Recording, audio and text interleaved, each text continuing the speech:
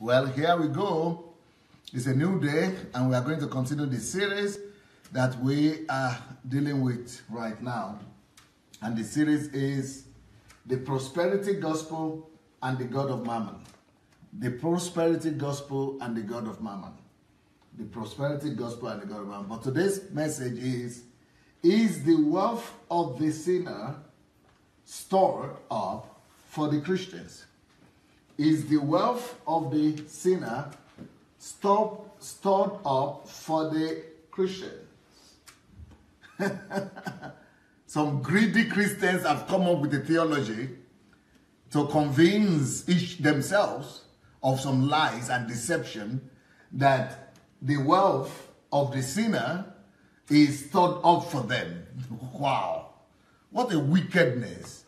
What a greedy, greedy theology.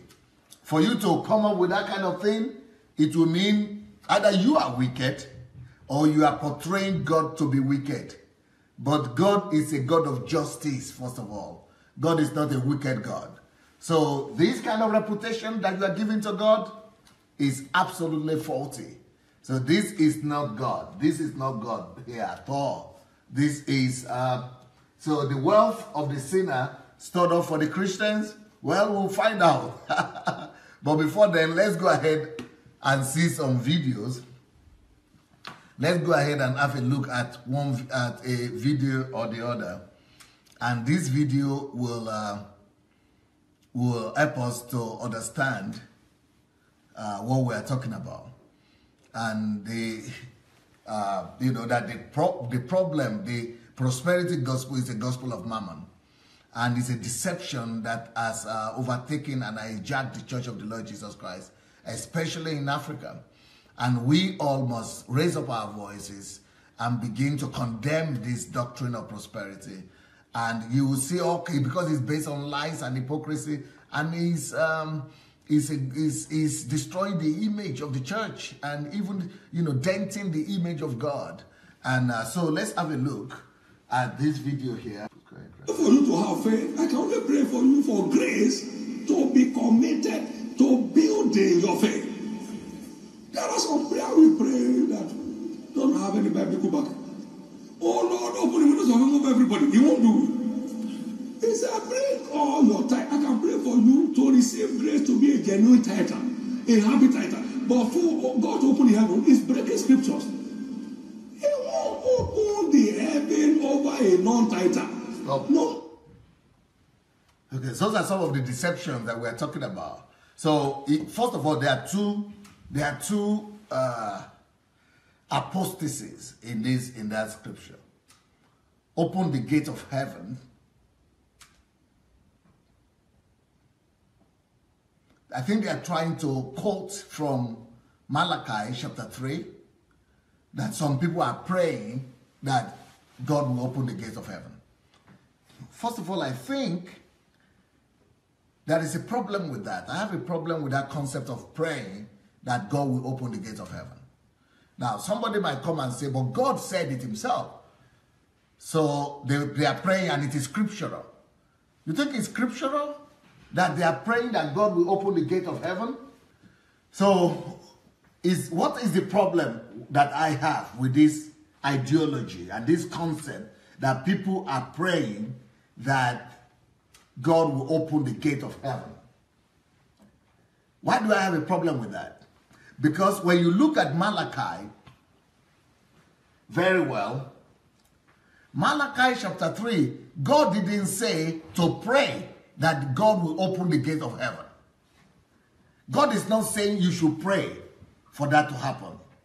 God is saying you should do something, do the right thing the tithe and offering that were meant for the orphans and the and the widows and the and fatherless and the strangers, don't take it from them. Give it to the people it's meant for. This was in the Old Testament, by the way. It doesn't pertain to us today. But since our churches are basing their messages on that, let's talk about it. So God is saying, you do the needful. You do what you are supposed to do. If you do the needful, you prove me, I will come through. I will open the gates of heaven. You don't need to pray for God to open the gate of heaven. God Himself will do that without you praying. Okay, I think let's let's start all over again that video. To have faith, I can only pray for you for grace to be committed to building your faith. There are some prayer we pray that don't have any biblical back. Oh Lord, open the windows of heaven of everybody. He won't do it. No. So that whole idea of praying that God will open the window of heaven is by itself faulty. Is by itself, you know, not scriptural. I don't think. I don't. Maybe somebody will be able to prove it. If anybody will be able to prove it to me, that is scriptural to pray that God will open the gates of heaven, okay, it's fine with me. It's okay. But I didn't see that there in Malachi. I'm not sure what God is talking about there is pray that God will open the gates of heaven.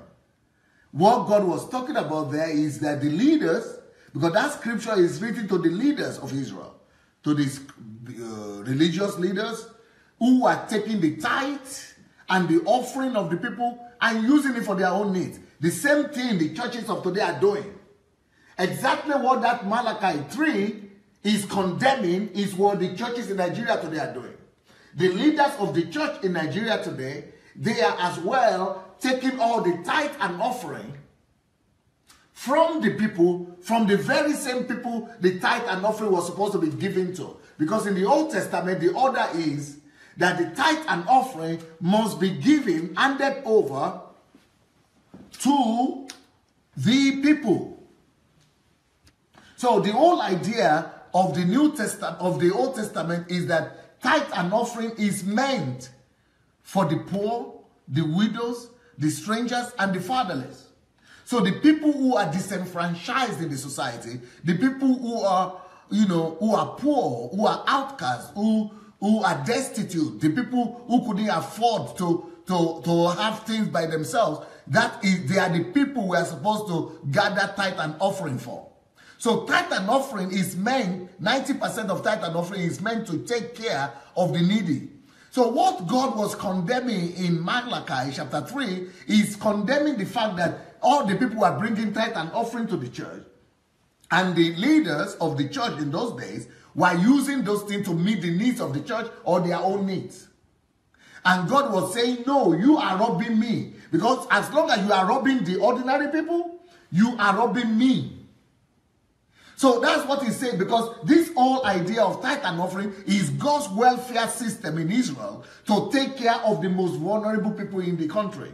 That is why we had the Jubilee, the year of Jubilee, so that the people who are destitute, who are unfortunate, who are weak, who are who cannot fence for themselves, so that those days they could be catered for and their needs could be met.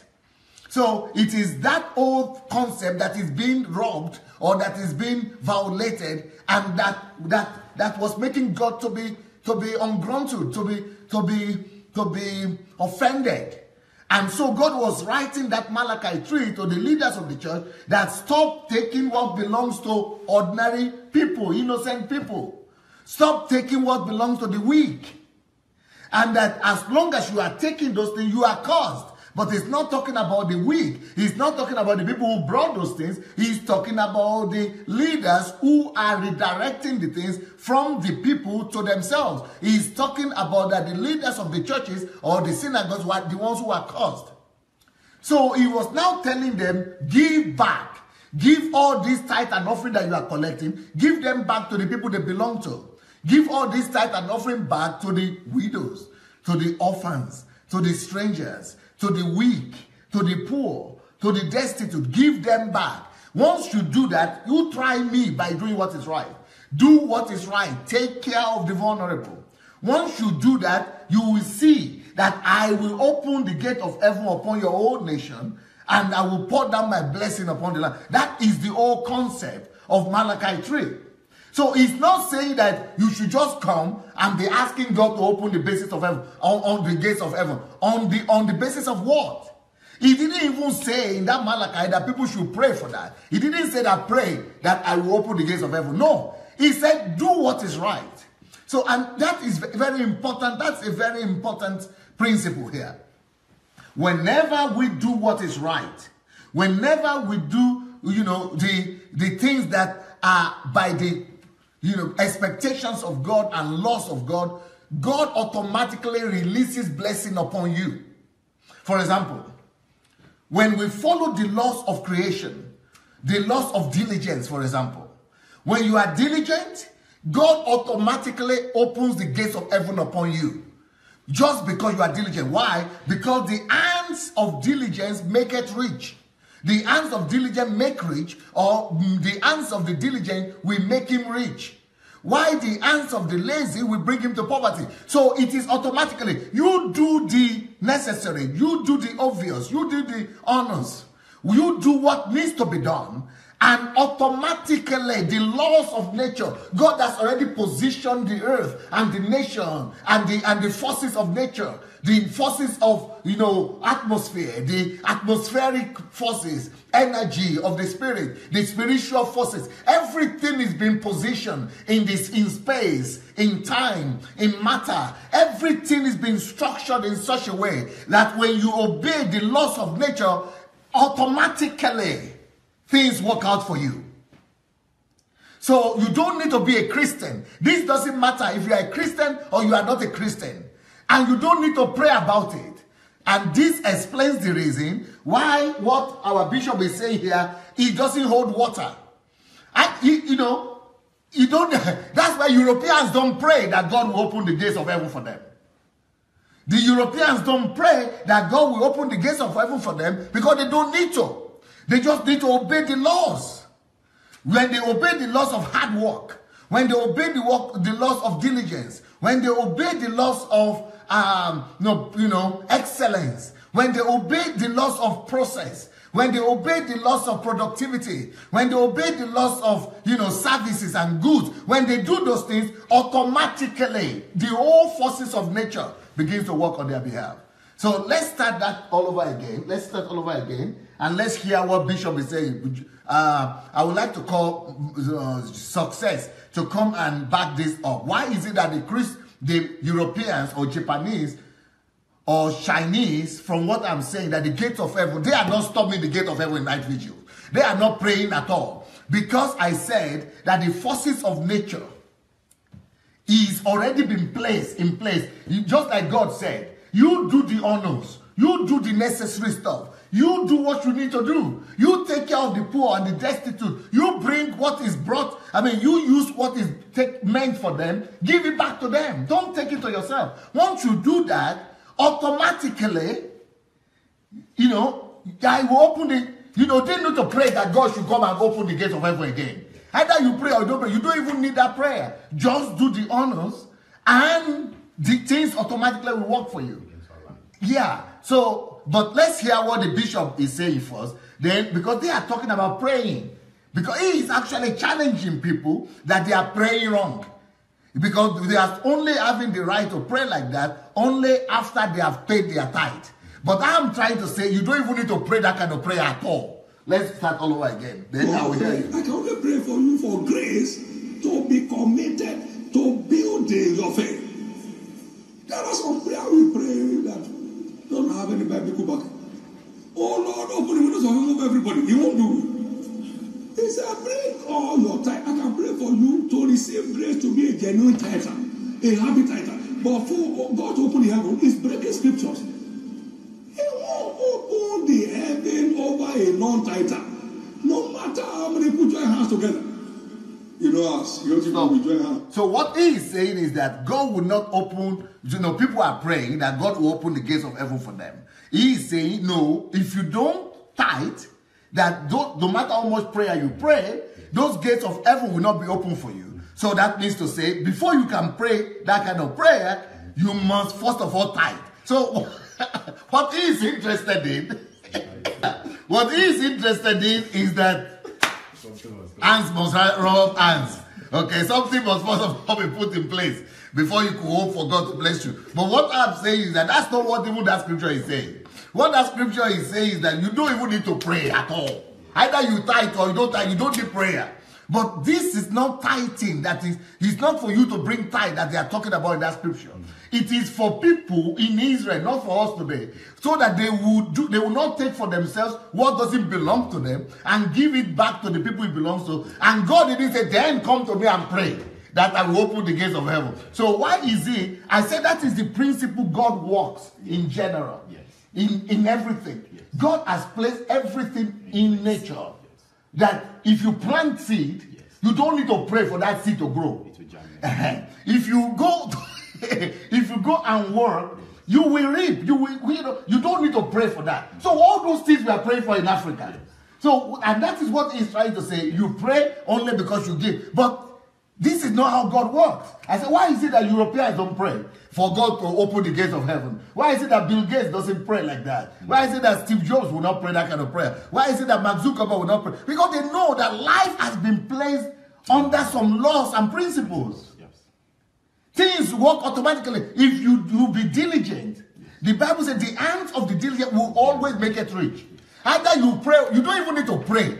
If you are diligent enough, you're just wasting your time to come and be praying. You will think that it is your prayer that is making the window to open. No, it is the obedience to the law of diligence. It is you doing your best that making the windows to open. I don't know how you, if you get what I'm trying to explain. I, there was a time you Can you speak louder? There was a time like that you taught on um, like for you to excel on earth, for you to rule on earth, Yeah, that you need more faith in yourself, that you need more faith in God. Yeah, than in, you need more faith in yourself than in God. Than Right. in God, Right. yes. And I remember that that caused a lot of uproar. Yeah, people are fighting me like crazy.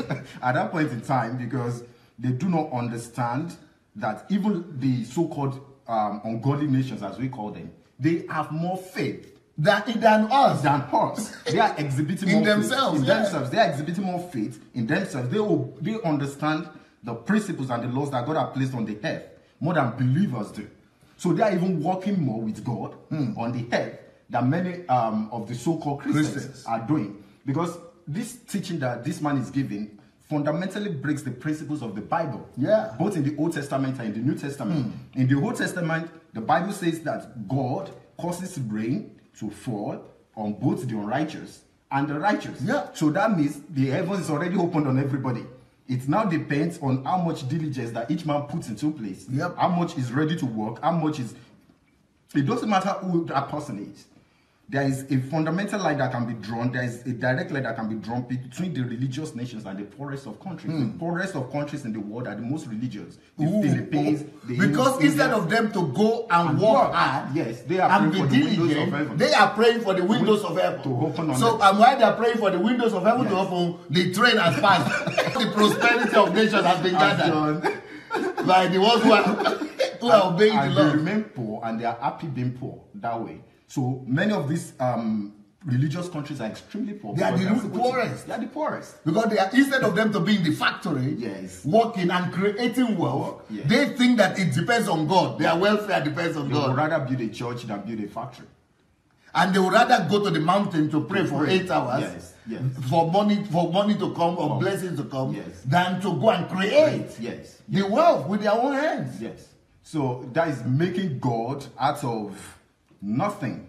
Because what God has created, they are not willing to work with it. And in this case now, the man has now even brought it to another level.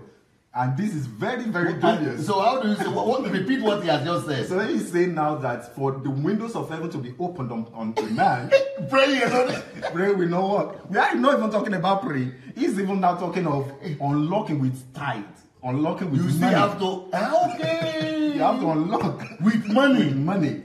The window that has been opened.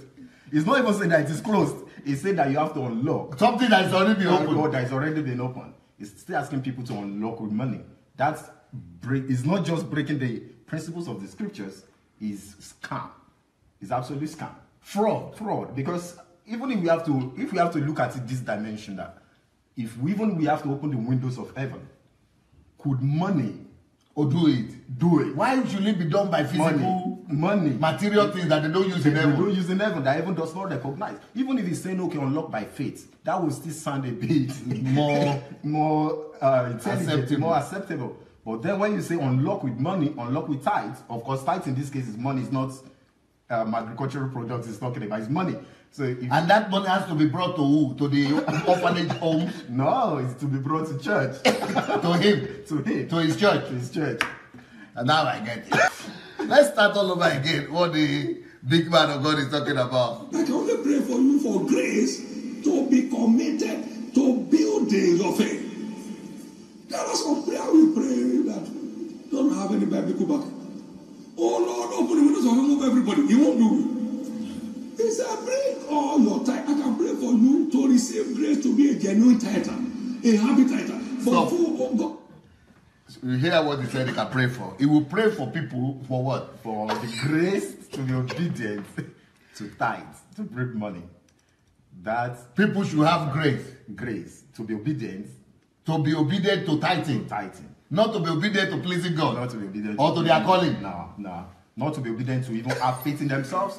Not the grace or the faith to be obedient to industry. To be hardworking, to be disciplined. To be excellent, To be excellent in what they do. It is grace To be diligent. To be diligent.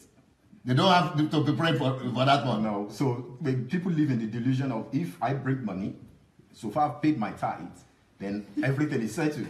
God has taken care of everything. And then they can go and expect, you know, people just literally feel that this window is going to pop open and dollars is going Because to the only thing that I need to do is to give the money. Yes. And industry is not taught, um, excellence is not taught, hard work is not taught, discipline is Diligence is not taught. not taught. Just bring money. Just bring money, and the window will, will just Flog open. Will, will be open naturally, and um, that is why our nation is where it is. Absolutely, it's just. But they will be getting richer now because they are the ones who are getting all the money. And that's- we are bringing all the money to them. That's why we can't even compare their financial status with that of their members of people who follow them. If It's like heaven and it's earth. heaven and earth, Because they are take, bringing everything to them. to them. They are getting richer, Yeah. and these ones down there are getting poorer. poorer. If there are people that will go, if for example this is really true, we should have at least maybe about hundred. Let's not even say hundred, maybe twenty of people who are in the same status with them. With them. with them, but we don't. We don't have that. So we have two extreme margins, and um, It doesn't work. It doesn't work that way. It's never gonna work. Okay, let's go, keep on hearing the man of God. God to open the heaven is breaking scriptures. He won't open the heaven over a non-tither. No matter how many put your hands together. You know, Stop. you know, to- He said, he won't op- God won't open heaven to non-tither, no matter what you do. All these people in Europe, are they tithers? No, they are not. They don't even understand what means. They don't even understand what this talk is about. Maybe if we're talking to Jews, maybe Jews may be able to relate. Forbes, Forbes uh, book of uh, what do you call it? Wealthiest men. Yeah, the wealthiest Forbes, Yeah, Forbes, Forbes magazine. Forbes magazine. All the people who are there in that list. How many of them have been, you know, doing open heaven? The 10 richest men in the They world. don't even none know of them about is a Christian. None of them is even, they None never them heard about it. Yes. They don't even know what you're talking about. And the window but he is saying no matter what you do. So the question is, what are those people doing? And I can tell you what they are doing. What they are doing is that they are obeying the laws of nature, which is hard work, diligence, which is going through the process, the ability to go through the process, discipline, excellence, which is, you know, diligence, which is productivity of service, of goods. These are the things that are making them to be wealthy. And they are making it, and he is saying, no matter what you do, and people cannot even at that point just pause and think about it that people don't use their mind. they don't use their mind. And that's the first thing they help people do is to suspend the mind so that they are not able to think critically. Because it is, it is very, it's very easy to dissect, to know that this is a lie. I mean, eh, even they who are paying the tithe, they are not there. Even he himself is nowhere compared to those people on the Forbes list Yes, yes. who are not paying any tithe. That should be the first question that should come up to people's mind that, okay, if this is really Dan Dangote is not paying any tithe, and other people, are, uh, you know, and they are even richer than him. And he's saying that no matter what you do, nothing will work until you begin to pay tithe. Heaven will be open, which, as if you are the owner, owner of heaven, as if uh, somebody, uh, you know, the people in all these people are sitting down there and clapping. What, what do you think is happening to us? They have, they have messed up our minds. messed up the people's mind, really. And um, it's just more happening like um you know i really don't want to use some it's very very sad when people have suspended the mind and they are so eager they are so happy to clap they are so happy to cheer on they are so Anything to, they say, they just, just receive without questioning. it's just without questioning. It's just accepted. It's just uh, they are fathers of faith or they are They cannot say anything wrong. they cannot be wrong. Even when it is so glaring that it is against the scriptures. And that's why people could come on the platform and still argue some of these things even though it's very glaring. It's very all that a man needs to believe all of these things is to have never opened the bible Or to have been or brainwashed. to have been brainwashed. Because immediately you open your Bible and you begin to read, then everything begins to contradict. You see the big contradiction. If God causes rain to fall on the righteous and on the unrighteous, then why would somebody say that you need To do to something. do something? If God is really God, if God is really the all powerful as we know Him to be, why is it a small man, a small mortar, that would then have to influence him To open him to up. open him up, to unlock him to.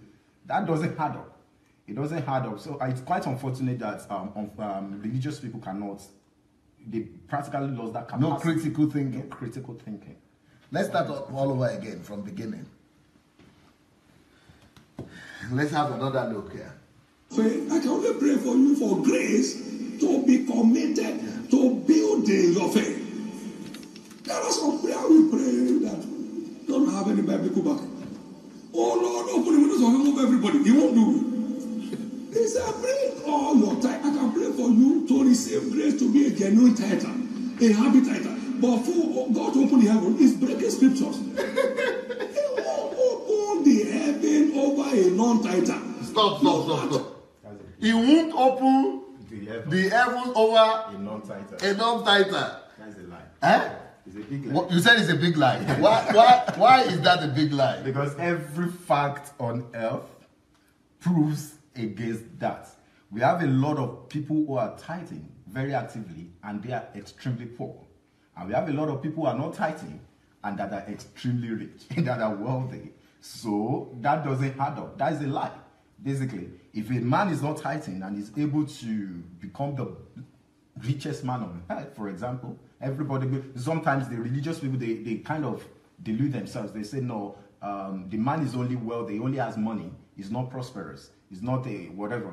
But every man understands. Everybody wants to become like him. become- want to become like him. In fact, when they are praying in church like that, what is at the back of their mind is to, Is to become like Bill become Gates. like Bill Gates, to become like that. But then they are saying, no, it's not really, it's a lie. That's Okay, what about the ones who are paying all the time? they are poor. They are still poor. They don't have money. They are they are they are And they broke. cannot send their children They to can't school. send their children to school. Even the schools that these people have built, they can't even afford it themselves. Even though they are paying the Even though tithe. they are paying the title. So why is the God not open? Why is God not opening the? Is that these people have their own God though, or their own Bible? What what what do I understand? But how is it that people? Do you think that there are no people in that church who are paying tithe and offering, and no everyone, no everyone is because he's saying Yes. that God can never open for you. People, you know, if you are not paying tithe and offering. So, so it means that if you are paying tithe and offering, and that's what they said, only people who are paying tithe and offering that heaven are open now. But why is it that heaven is not open to all the people who are sitting down there? If the all if that heaven has been open to them, they will not be sitting down there. Oh, okay. Everybody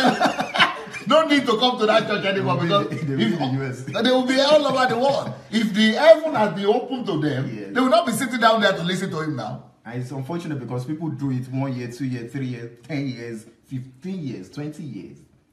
Paying tithe paying and offering.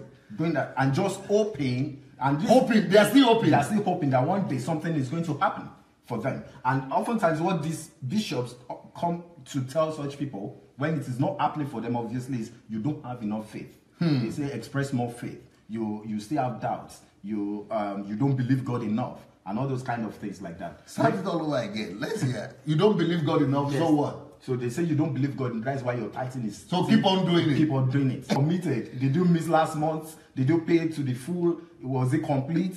Did you? Was it the gross? Was it on the gross or you took out? Of, They and all try those kind to of find weak links. Weaklings. That's putting fear in people. So so well, just something. Okay, let's play it again. faith, I can only pray for you for grace to be committed to building your faith. There are some prayer we pray that don't have any biblical backing. Oh Lord, open the windows of heaven over everybody. He won't do it. He said, bring all That's not. I for- He has done it He has done it for. for everybody. He has God has opened the windows of heaven for everybody. That is the magnanimity of God's heart. That is the love of God. That is how much God loves every man on earth, What about the Muslims? including the Muslims. What, the have, Buddhists. you, have you heard of Saudi Arabia? Immediately anybody is born, heaven, heaven, Is as, open. as long as you are born there, you have fifty thousand dollars immediately. Oh, Heaven just opened immediately just because you are born a citizen in that country, Kuwait. Once you are born in Kuwait, three hundred thousand dollars already in your bank account. Or heaven just open, boom, and they are Muslims though. They don't even need to pray or anything for that. Even- Heaven just open, boom. United Arab Emirates. Every is constantly open 24 hours. 24 hours. That's what heaven is just constantly open. They pay for your school fees, everything. Eh? I say even though many of them don't believe in God. They don't believe in God. They don't pray. They, they, they drink. They sing. Because because of the point you have made that God, heaven is already. I've explained that to our people. Heaven, is already opened on every man that is on earth. God has opened. Speak louder, God has opened the windows of heaven. God is not dependent on man. God is not dependent yeah. on what man will do. God only wants us to walk into His love, to accept that love, to realize that love, to um, understand how much we are loved. So God is not waiting for you to bring money. He's not waiting for you to um, um, be religious or do one thing or the other. To That perform. to perform. God only wants you to accept that love. And how do you accept that love? You accept that love basically by exercising diligence on the earth, by dominating, taking dominion of what God has already made available, the laws and the principles that He has established on the earth. We appreciate the love of, the, of God, of the Father, that, oh, you have given the capacity to make this. And I accept it. I accept that potential. I accept that grace, that ability, and I'm going to create it. I'm going to make, I'm going to help every man on the earth um, to solve the problems of men on the earth. So if there's problem of darkness, I'm going to solve the problem of darkness. The problem of clothing. I'm Not because you need some gain. Not because to- I'm- you no. want to God to bribe God or things like that. No, it is accepting the love of the Father. Accepting the fact that He has made every man, every man on earth is blessed. No man was born empty. When he was made, that is already the window that is already been opened upon every man. Let's start all over again. They said the window has not opened. So let's see. faith. I can only pray for you for grace to be committed to building your faith. There are some prayer we pray that don't have any biblical backing.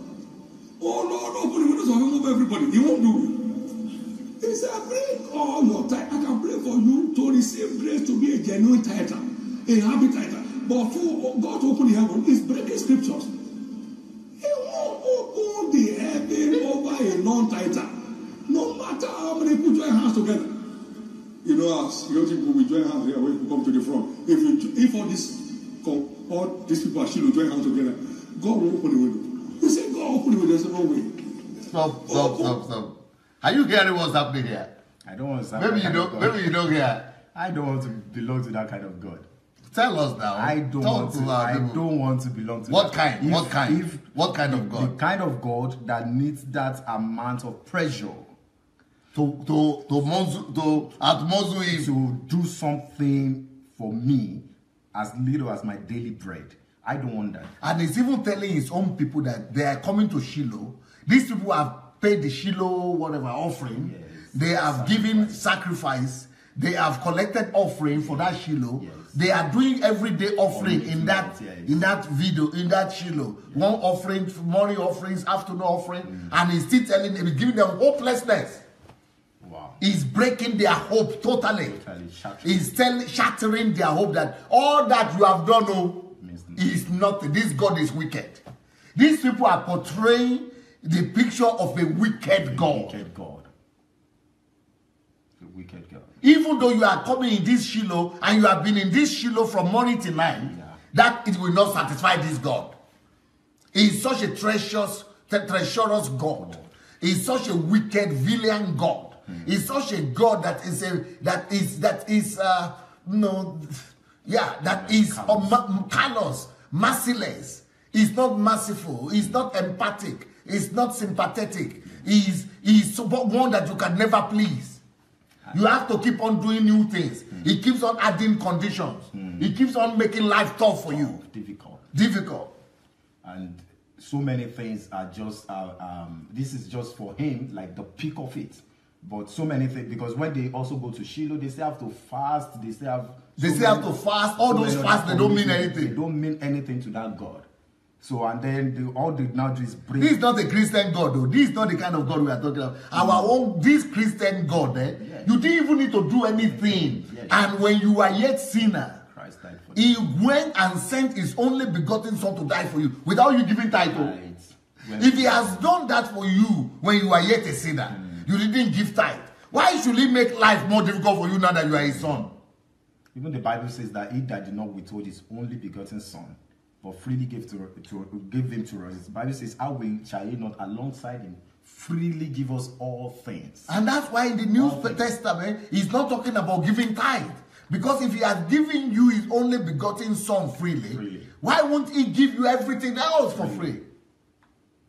No commitment. And no he said, freely have you receive. received, freely give. freely give. So is he contradicting himself? So this God that these people are no drawing out, out for us, mm. this God that these people are portraying, Yes. is a treacherous God. It's a wicked God. This is not the God of the Bible. This is not the God of the New Testament.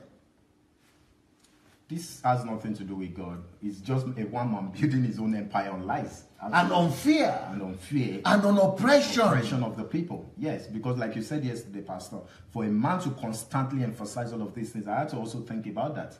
In that man, all his, his conscience is already seared with iron.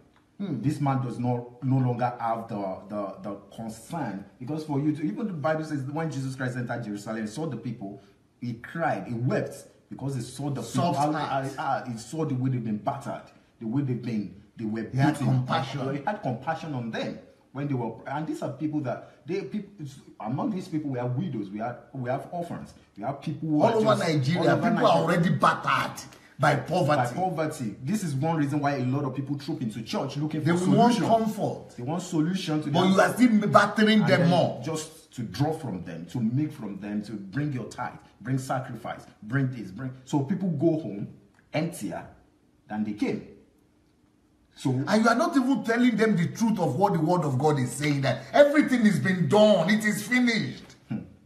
It is finished, though, it is finished.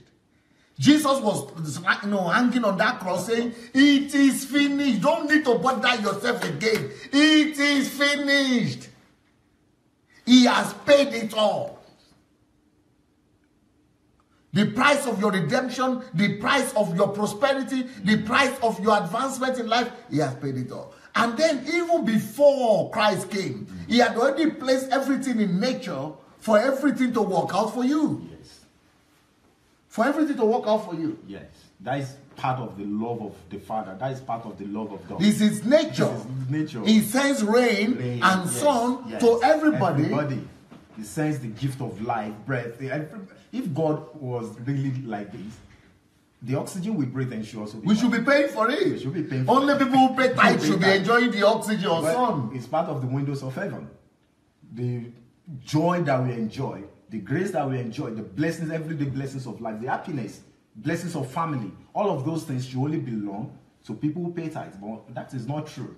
God has opened all of that window for everybody. So why should it? And um, I also think it's dwelling on people's greed. Because when everybody, when they are talking about tithing, tithing, tithing like that, people are not thinking about the everyday blessings of life, such as happiness, such as friendship, such as People want to gain where they have not sown. sown. It's all about They want to reap where they have not sown. So people should rather ask the question that I didn't pay tithes to have oxygen, which is also part of the windows of. Yes. I didn't pay tithes to have the blessings of Rain. of rain, of the family, Life. of life, of friendship. So why is it now that it is when I need money that suddenly now request tithes? It needs tithes from me. So people al- al- oftentimes always money for money. That kind of instance. If they are saying the window of heaven cannot be opened to you if you are not paying that. So what about ox- no, even the blessings of rain, of rain. sun, oxygen, Sunshine. energy, waking up every day. Every Is day. that not heaven? It's also windows. It's part of this window. It's also the window of heaven now. Those are real tangible. Those are the blessings. real windows of blessings, heaven. The real windows. But we are not paying for any of that. It's all free. It, but when it comes to money, But when it comes to money, then You have to pay. unlock. you have to unlock it. You have to unlock. It's so sad. Let, let's start all over again. I can only pray for you for grace to be committed to building your faith. There are some prayer we pray that don't have any biblical back. Oh Lord, open the windows of heaven over everybody. He won't do it. He said, bring all your tithe. I can pray for you to receive grace to be a genuine tither, a happy tither. But for No. God to open the heaven, is breaking. What is grace to, to, to give tithe? What's grace? What do you need grace for that? You want to pray that yes, you need you know God has to bring that particular ability Ability. for you to. Is it grace? There is no mental If it- conditioning. Yeah, if it is grace, why do you need to preach about it? God will rather something. Just pray now. Let everybody just have grace automatic. Why do you need to knock it on people's head? Mm, So grace is not something a man's ability any longer. It shouldn't be man. When we are talking about grace, Grace, you it don't need be a man's ability. ability. so it should rather be what God does. If it's grace, Yeah. oh, God should just give us that grace, and once you have the grace, you, do just pay your tithe anyhow. You don't. You shouldn't even need to be convinced. wow. Nobody should be convincing you about it. If it is grace, If it is grace, wow, wow, that's you don't even need to be told about it. If it is It grace, is grace, which is something you just do Yeah. naturally. So when they are talking about that grace, now it's, it becomes like that mental conditioning just to put fear in people that you need grace. So people who are paying it are the ones who have grace, who are the ones who have been graced. So everybody now wants to Have the their grace. but he said the grace comes by praying now. Unfortunately. But why is he teaching it? Okay, continue. That's it. the scriptures. He won't open the heaven over a non-tither. No Stop, matter stop, how many stop. your So no matter how much that's it. hands together. Stop. You know, no matter wait, wait. God won't open the gates of heaven for non-tither. So all the people who are in Europe who are not Christians, The heaven is the closed. heaven is closed. and they are living better than us. far better. And we who are li- whoever has opened in Africa, we are running to Europe. so that we die in the Mediterranean Sea Sea, in and die in Libya because we want to go to where the heaven has been closed. We are all running. We are risking our lives to go to the Europe where heaven has been closed. closed. Uh, People would rather be part of that closed heaven. Go, people would rather go to that close heaven than to remain where heaven has opened in, in, your- in, in Nigeria. It's unfortunate. And this is just so basic and so Elementary. elementary. When you are exposing all of these things, it becomes so everyone begins to wonder where has the mind been all these years? What has mind? happened to the mind? Because that means it's very systematic. There was there were a lot of things- Brainwashing. brainwashing. There were a lot of things that happened before they brought people, and people would just sit down every day, day listening to such things, and you're not able to really. wait No matter what you do, heaven will be closed. So America be- became the closed. Yeah, that's why they became the strongest country in the world. So China should not even appear. at And all. China is the most closed because they are communists. They, they say there's no Japan, Japan, they are Japan. They are Confucianists And and they- they, are not paying tithe. They- Some of them, are, I was in Japan. What surprised me is that some people have never even heard the name of Jesus before. Talk less of Bible, and the heaven is highly open. Yes, including Denmark. Denmark is known as Denmark, Scandinavia, Scandinavia. who are socialists, Yes. they don't know Jesus. They don't care. But they don't care. And heaven is highly open. And they said no matter what you do, heaven will never be open. It will be closed. and that's why our country remains Brainwashing. Africa, eh? Ah! we- our country remains backward because of these such prominent teachings. These are the kind of And these are supposed to be the spiritual fathers in the country. land. And people believe them. They left that. People believe them. And they are leading people astray. Yeah. They are messing up people's mind. People are not going to church. I mean, they are not going to work. Yeah. They are sitting there in churches and clapping. They are going to pray, hoping for miracles, instead of them to go to work. Yeah, because Instead they- of them to go to the laboratories and go and invent, to the libraries to go and to the study. libraries and study. And the, and the factories will come There will up. be electricity. Electricity will come. come up. But it has not happened for 50 years. So why would it happen? At the place where they are not waiting for heaven to open, it just keeps on opening in Europe and America everywhere. Yeah. yeah. You continue, that's it. People will join hands here when we come to the front. If you, if all these all these people actually join hands together, God will open the window. We say God open the window. There's no way. Open the window. Is that the scriptures cannot be broken? I have by faith, so I cannot deny myself. I want the one who said it. I can't be breaking it. Oh God, for this woman, open the window. He said, Oh son, I won't. So, so, so, so you'll be fighting. It's a struggle with God. You say, God, open it. You say, I won't. If you don't open it, I won't. I won't. Wicked God. Such a relationship with God. Such a such a bad, bad, bad relationship with God. Because if I were to be a non-believer who just happened to walk into church one day or maybe go with a friend, and this is the picture of God That is being that's been painted. painted, I would rather want to remain as I am. Where I don't have to induce, I don't have to have all of this Indulge struggle, myself indulge myself. And let's say, for example, I live a good life. I'm okay. I have my um, the Nigerian standard of having a car and a house to live in And a good, job. and a good job. I would rather want to be there and not have to Do with this, anything to do with this have God. anything to do with this kind of God. Because that kind of God that constantly needs the struggle. Open, I won't open. Open, I won't open. Open, go. No way, I won't open it. I don't want to. I don't want to be there. I don't want to be there. I would rather want to. Okay, let me just remain where I am. And it's so unfortunate if everybody thinks of God this way. Very bad. Okay, the one I showed us. He Someone said I church may be far of faith. I can only pray for you for grace to be committed to building your faith. There are some prayer we pray that don't have any biblical back. Oh Lord, open the windows of heaven over everybody. He won't do it. He said, bring all your tithe. I can pray for you to receive grace to be a genuine tither, a happy tither. But for God to open the heaven is breaking scriptures. He won't open the heaven over a non-tither. No matter how many people join hands together. you know, as young people we join hands here when we come to the front. If you if all this come, all these people actually join hands together, God will open the window. We say God open the window, there's no way. Open the window, that the scriptures cannot be broken. I have by faith, I cannot deny myself. I want the one who said it, I can't be breaking it. Oh God, for this woman, open the window. He said, Oh son, I won't. The whole church is praying. He said the whole church may be fasting for one year. I won't. Tell that woman be a tither.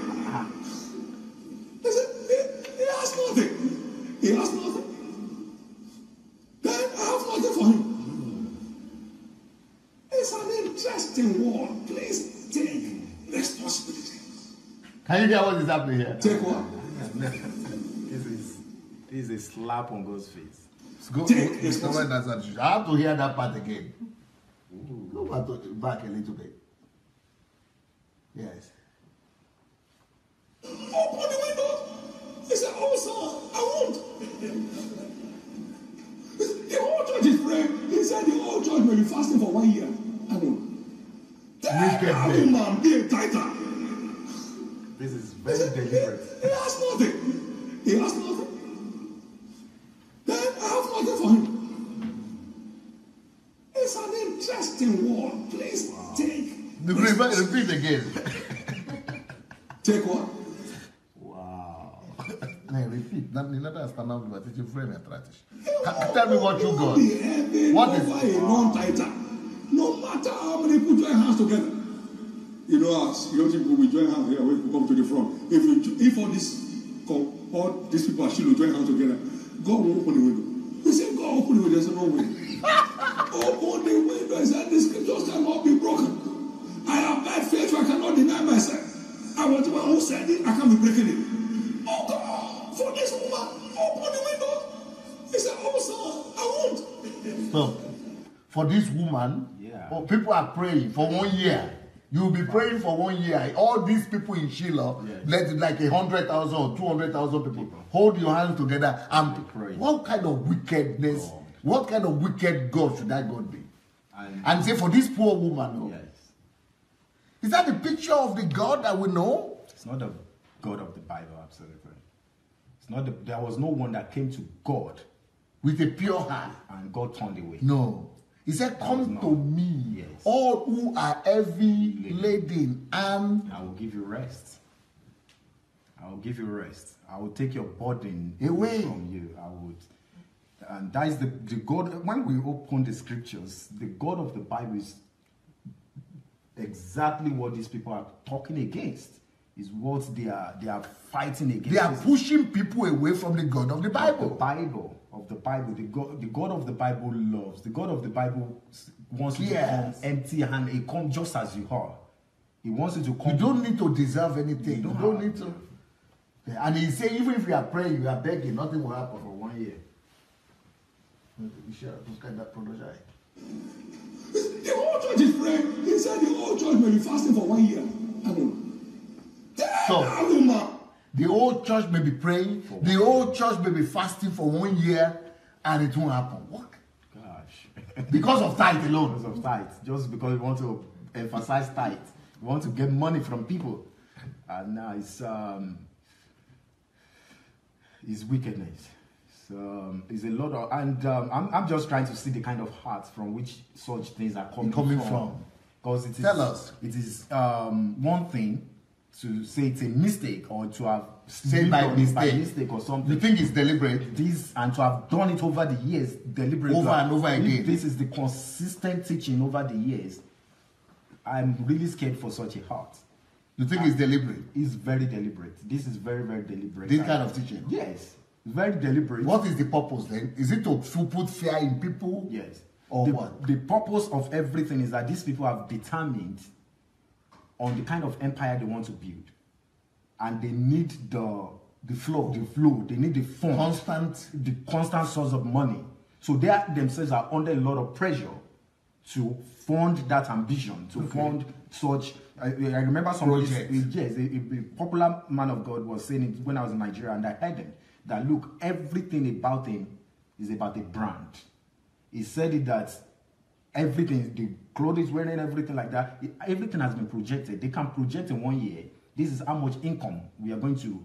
We want to build the largest university, or want to build the largest. And the money has to keep and the coming. money has to come in, whichever way it has to. The money definitely has to come in, and for the money to come in, there is no better way to fund that than ten percent of every people's money every month And they must not stop. and it must not stop. It has to constantly. So whatever teaching from the scriptures has to drive that machine, Push. that pu- push that flow. They have to. So God can be aside. Yeah, but they are discrediting God in the process now. Yes. Why should you say all these people in Shiloh, you could hold your hands and be praying for one woman, Yes. for God to bless the woman, have mercy on the woman, and that God will refuse, and God will say, will not have mercy. Yes. He will not hear the prayer. For them, God does not even come into the picture because it's it's business. It's a business dealing. God does not even call God. so they don't care what the reputation Of God God's is. shadow is being casted on God. there are a lot of people, and this is why They don't even think about God at that At time. all. This is why when people eventually discover what all of this is about, I hope that people do not really hate God. I hope that people do not get disappointed Or people might go and attack and them. that they and attack them because this is totally against. No, nobody would want in his right mind, in This a- kind of in a God. normal mind, nobody would want this kind of God. Even the local gods, the Yoruba gods of They are the not as wicked as they, that. They are not. They, they are satisfied with uh, pap. They are satisfied with small goats. They are satisfied with chicken. They are- but the God of the, the, this God of um, this God that this man is talking about that constantly needs people's ten percent in order for him to be good to them. that needs all the sacrifices. That needs fasting of one year. And, Constantly. constantly is, is worse than the old Shango. Shango and Ogun. Is, is worse. Is Okay, worse. let's continue. I'm being tighter. He said, he, has nothing. He has nothing. Stop. So if anybody, they said, go and tell the woman, he said, no, no matter how many of you are praying, Yes. yeah, everybody could be praying. God would say, I can't do anything. He said, then they will tell God and say, but the woman does has nothing to tithe from. He said, he has nothing, she has nothing, she has to go. out. So what should you do? Go and borrow? Just bad. Huh? So adding burden again. To So the poor already- woman- who's already burdened. So they are saying you must give. And okay, if, and if you don't think that you must give, they didn't say go and give it to the orphanage, go and give it to the poor, go and give it to the homeless, go and, but you have to bring You it have to to bring church. it to them. You have to bring it to them. And I'm also looking at the interpretation, just as you said, that is going on in the minds of people. Because somebody will be thinking that, look, what I have is small. but the picture that is painting is that there is a woman who does not even have anything. And God is saying, look, if she does not have anything, I have nothing for her also. Yeah. So that will be going on, a million interpretations will be going on in the minds of the people. People will be this like, God is wicked, in fact, people, some of them that are under this congregation, a lot of them will be like, "But I have some, I have five cars, I have four houses, I have." So if a woman that does not have anything, Anything. God is saying, "I have nothing for her," is also equivalent of me giving everything that I have. Hmm. So people would rather do away with all the cars, with all the houses and everything. There are a lot of people They- that they are have to- selling, yes, that are selling everything To give to to give to them because it is if a woman who has nothing, God says, I have nothing for her. If a man has four houses, then God is going to demand those four houses too. Hmm. If a man has Five cars. five cars, God is going to, is equivalent of that is the interpretation that is going on in the minds of the people. That is the picture that is Being painted. being painted. So it is that God blesses you according To how much? to how much you already have, to the demands, and that's why they called all of those things sacrifices, all the tithing and all. But we just dwell on that. But that's basically what's being painted. That if you have nothing, God's got nothing. If you have four, God's God's God is demanding the four. God is demanding the five. God is demanding because it has to be nothing. So it is that when you basically Give everything. give everything, that God then has something for you. Okay. Then I have nothing for him. It's an interesting word. Please take responsibility. That is what they mean by responsibility. So, Take what? what do you mean by what is So responsibility? that that responsibility was ex- I kind of knew that I was going to come to it. Yeah. so that responsibility is this is what I have. This is all I have. yeah. I. Okay. Everybody has to take To take responsibility. responsibility To bring everything bring he has. everything he has. So it is take responsibility for everything. There is no way if, they are under the teaching where a woman has nothing and God's got nothing, then if you have to take responsibility, if you've got one, the only way to take responsibility is to give everything. to give one. For- hmm. If, if there is no way a man who has four will bring one, and God will see that their own. God will see that as responsibility. The only way he's going to be responsible is you've got four, you bring four. That is to them responsibility. responsibility. You take responsibility. You are responsible in the in their imaginary that imaginary God concept. Okay.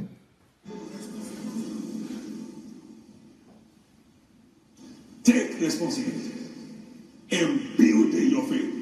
I came back from a trip years ago and my wife said, What did you bring? I said, Come and see. So I took her to the library. I opened the first box, books. Second box, books. He said, Wait a minute, what else? I said, That's all else. I said, The court. Well, so what? What? My God, these people have just uh, killed Christianity. Yes. They have killed Christianity. Let's, uh, uh, Rashid, let's start all over again. pray for you for grace to be committed to building your faith. There are some prayer we pray that don't have any biblical backing. Oh Lord, open the windows of heaven of everybody. He won't do it. He said, bring all your tithe. I can pray for you to receive grace to be a genuine tither, a happy tither. But for God to open the heaven is breaking scriptures. He won't open the heaven over a non-tither. No matter how many people join hands together. You know, as young people, we join hands here, we come to the front. If you, if all these, all these people are still join hands together, God will open the window. He said, God open the window. There's no way. Open the window. He said, the scriptures cannot be broken. I abide faithful. I cannot deny myself. I was the one who said it. I can't be breaking it. Oh God, for this woman, open the window.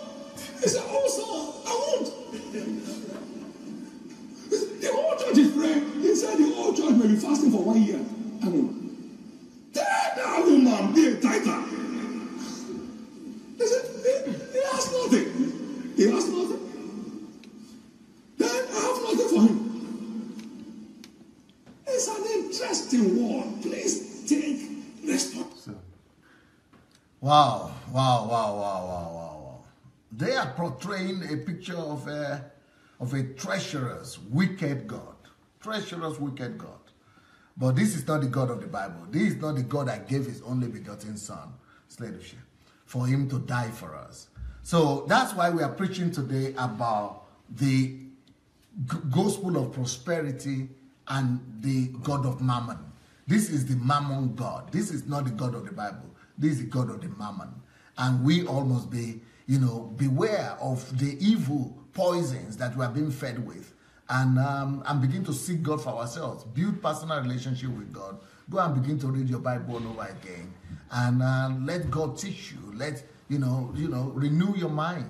Let's have a look at another another one of this because in America, these people have been exposed. The media have done a good job exposing them, talking about this thing we are doing. Until we begin to expose these people also in Nigeria, they will never stop. So we need to talk. Somebody needs to talk. Only the light will dark, uh, chase away the darkness. Only the truth will kill the lie. So we have to begin to speak the truth to set our people free.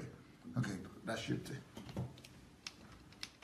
Fastest growing ministry in the business, Robert Tilton, when prime time continues after this from our ABC stations.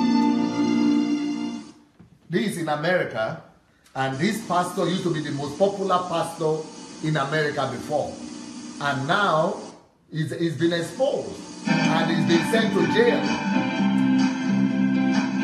When prime time continues, mend this collarbone together, bones together. As many as 30 million Americans tune in each month to watch this kind of religious program. The typical viewer lives in the South or Midwest, has only a high school education, and is usually a woman, often 55 or older. God gave you this truth. He didn't send you the rich fat cat. No, he certainly didn't. Most farmers make between fifteen and twenty-five thousand dollars a year. But while they may be on a tight budget, they're extremely generous. And no one knows that better than televangelist Robert Tilton. When prime continues.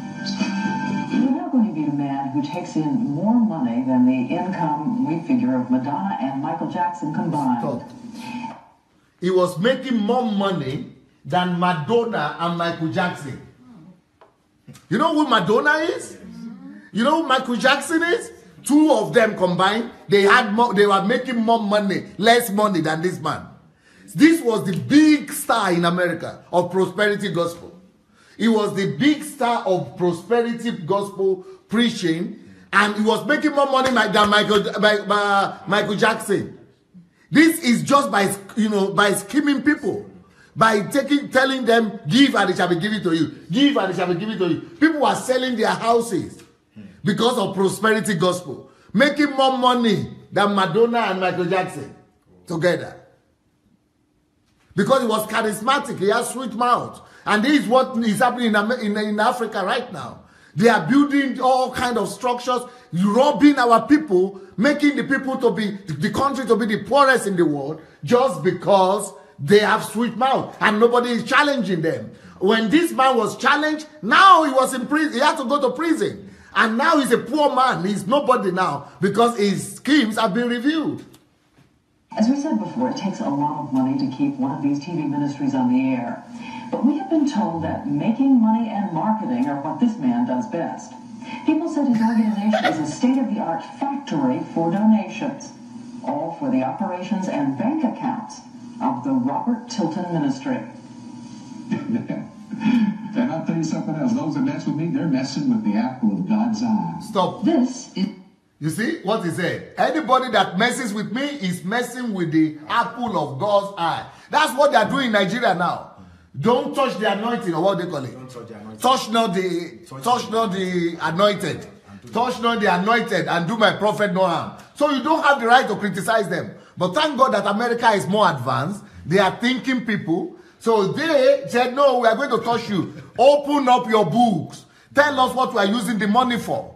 And until we begin to demand for that in Africa, until we begin to demand for that in Nigeria, uh, the evil of you know making our people poor, the whole country poor, the economy destroyed, is going to continue. We've got to begin to, you know, demand for accountability from these churches and pastors as well. Just like in Europe. Okay.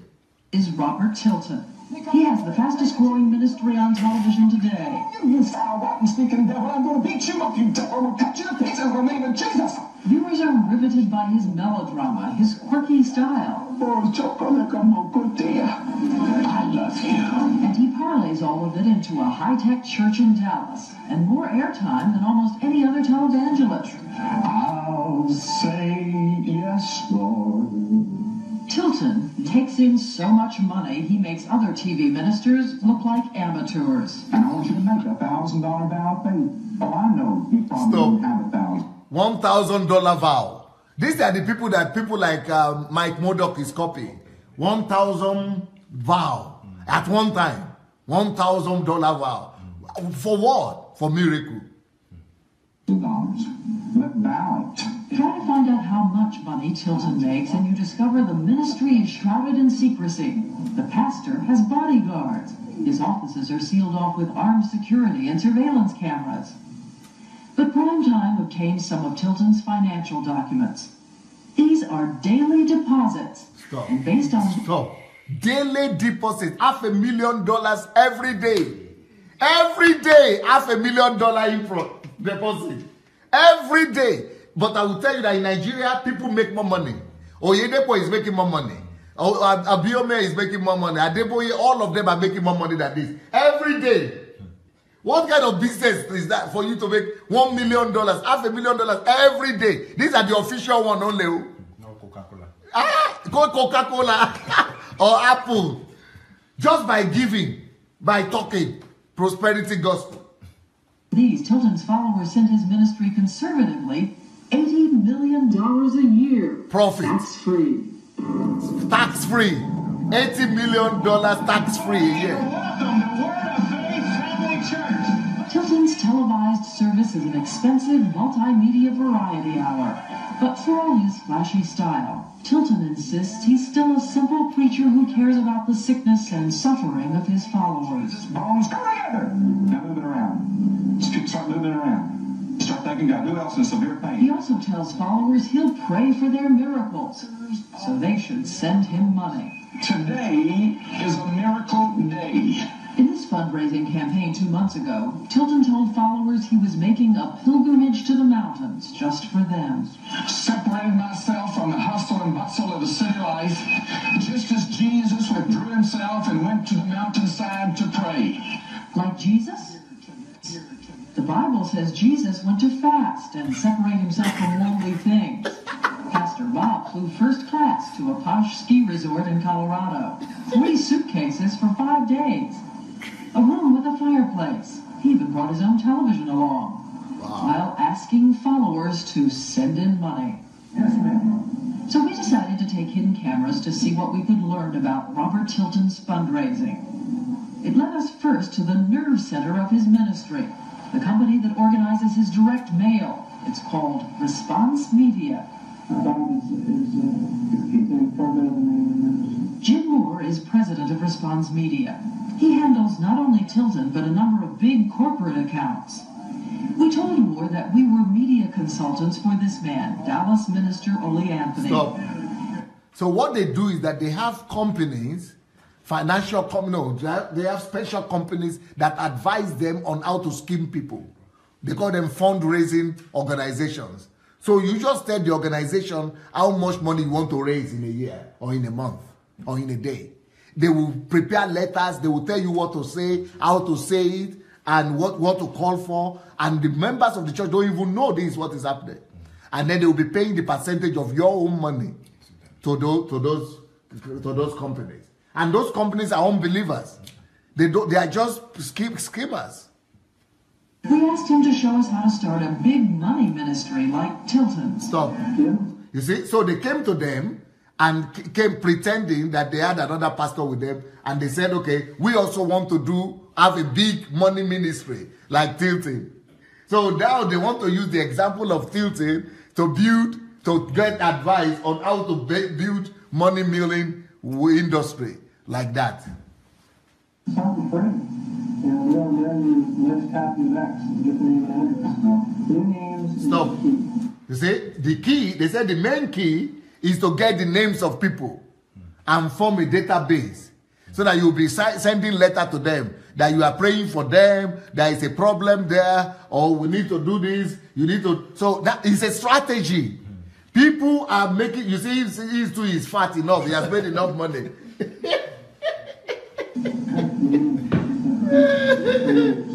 so he said the whole thing is to get new names. Always be looking for new names. You see? It's all about scheming. And all these letters, they said people should be writing letters for pro- problems. Write letters and bring, you know, for your problem. We'll be praying for your problems. But those letters, they are not going to to the band of God. They are going to the company. they are doing analysis and then they are throwing it into garbage. Let's go. People give you their names. It's easy to keep them on the hook. You mail them something with a gimmick in it. First of all, when you send an item in, it gets your attention. That's number one. Tilton sends out an avalanche of things he asks viewers to send back to him. Miracle prayer clause he promises to touch and place upon an altar. Stop. That is where our own mantle in Africa started from. Handkerchief, everything. Hmm. They, they will call it touch of faith or the point of contact. Point of contact. Con- point of contact. But it's all about money. He says he'll place on a wall of deliverance arrows he'll use to take aim So, at sufferers. all those deliverance ministries, the, where it's coming from, it's all about money. You need deliverance. You need deliverance. Even when nothing is troubling you, they, will- they will find you a demon. Everybody in Nigeria now has a demon. Either demon from your mother's house, or from your father's house, or demon from your husband's place, or from your stepmother, stepfather. Some deliverance. You must need deliverance by always. needs. A tracing. Place your hand there and he'll put his hand there too. There's holy water from the River Jordan, miracle anointing No. oil. holy water, miracle anointing oil. All these things are for making money. And our gullible people in Africa are falling for them. But in Africa, in America, you see, they are exposing them. It's time to expose the Africans as well. Though Moore said some of the items come from that holy place, Taiwan. You get stuff in the pack. The Stop. You see, they say, where did you get those things from? Because they tell them the water is from only Israel. And the oil is from Jordan, River Jordan. And they say, and the company said, no, we got them from Taiwan. no Israel, nothing. They are, this is a company that is doing it. And they are telling them only water from Jordan. They said, no, we, send it to China. China is the cheaper in China than to go to Israel. These things are coming from Taiwan. in Nigeria, they don't even go to Taiwan, they just go to Baba, State. Alabama Kent or something. And they are thinking that it is from heaven. God has anointed it. Written to pressure followers to write back and make donations to. the letters people are receiving, it is not him right who is writing it. He doesn't even write the letters. It is the people, the company they hire that uh, uh, write the letters. Does it work? People send them in by the truckload. You see, Jordan It's a River. marketing scheme. There's a feeling of obligation to send it back, and they do. And usually they're gonna send it back, oh, I'll go ahead and put five dollars in. Uh, it just, I'm not sure exactly all the reasons why it works, but I can tell you from years and years of experience, it does. Stop. And when the letters are So they are telling you, ah, but how can those kind of scheme work? He said, I cannot even tell you why it works. So, but that means I don't know that people could be so gullible, but it works. People are so foolish that they are sending money. He said the least people who will send, they will put at least five dollars inside. Describe their process so the company knows which fundraising appeals you can use to squeeze followers for the most donations. Take find spouse and grab up his demographic information and create a, uh, a profile of who their people are. Uh, how many people have cars that are um, new. So it's market research, not God. So they will do analysis on you. How many people have cars in the church? Do you have a car? How much money do you have? Where do you live? What area kind of what area you live? So those things inform what kind of letters are going to be written for you. God who can tell Tilton which appeals reach the richest donors, which illnesses create the most dollar opportunities. Someone had a growth. I just saw a growth You in the see? deal. You see? And Tilton creates the impression that after he pays for his overhead and all that expensive airtime, the money goes to good works like these, his missions around the world. Stop. But we try. So they show them, at least in America, they show that they are doing some good works around the world, which is a lie. But in but in Africa, they don't even need to show any good work. This is just to cover people's eyes. But in Africa, they will tell you, you know, you know, they will just, they don't even need to. Ma- Papa has said, Mama has said, Man of God has said, you don't even need to say any good work. track down every charitable contribution of Tilton we could find. And we calculate he spends more in a year on billboards around Dallas than he does on all of these missions combined. and what about Stop. this mission? If the money is using for for uh, charity or good works is less than the money he pays for just one big board. He spends more money on big board alone, not to talk about other things oh, than all the thing he's collecting the money for. So he will collect money, let's say one for one- one million for charity, and he will spend one thousand there. Tilton's orphanage in Haiti.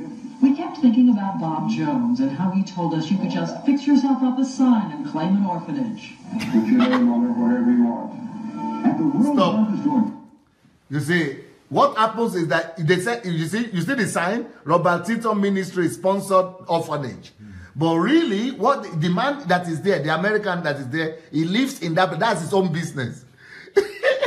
any of ministry, that same ministry, this same orphanage, any church that wants to raise offering, they just need to pay, let's say ten dollars or twenty dollars or hundred dollars to the man. The man takes the to the order to the owners of the orphanage. They put the for the sign, the banner, the signboard for for two minutes or three minutes. Take photograph, and the next day it is another church. It's five minutes, and they are collecting millions from the, from Africans, from Americans. Ah, imagine? These are pastors, men of God, anointed men of God. Somebody needs to talk. Tilton uses three different names for his Haiti orphanages. so when we went to Haiti, we asked the government officials in charge of foreign missions if they'd heard Stop. of any of Tilton. You see, the journalist went to Haiti because he's using he's one orphanage that is he's using three different organizations to talk about three orphanages, but just one orphanage they put photographs in. So they went to the government to say, where are the three orphanages of Tilton in Haiti? Let's see what the government will tell them. Tilton's orphanages. They said no. So nothing from Robert Tilton then? And Tilton's marketing Stop. director made it They said nothing. He doesn't have any orphanage. They just go there to take photographs once in a while. Nothing. Just collecting millions from people. clear when it comes to money for missions. Tilton is very smart.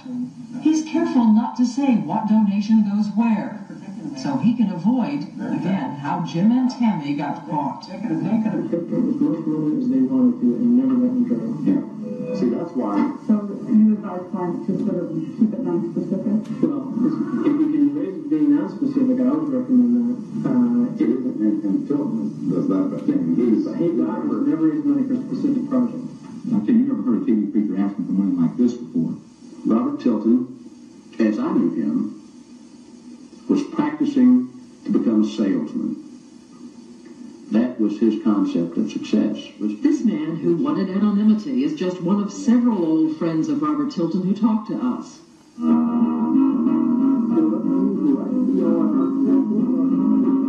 He remembers when they were in college, they would use drugs or get drunk and go off to tent revivals as a kind of sport. and we'd be drunk and uh, go down front, fall to our knees, uh, speak in tongues. I think that anybody who was there would realize that some people are going to believe anything. That all you have to do is capitalize on that belief. Tilton and his friends started developing parodies, so-called Jesus raps of their own. Oh dear God, come into this young woman's life here tonight.